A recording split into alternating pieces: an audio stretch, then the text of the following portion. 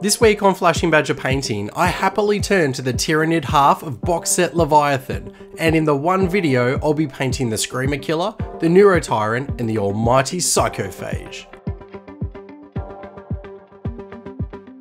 I'm painting the models in my own custom Hive Fleet scheme, and I'll even talk you through how I create the cracked ice and resin liquid bases, plus all the slime and gore effects I use to give them character. The bonus treat this week is that I've been in contact with a channel subscriber and we are playing around with their new army scheme. I try my hand at painting one and throw myself down the rabbit hole and surprise them by painting a whole bunch of models and posting them across the world as a gift from the channel.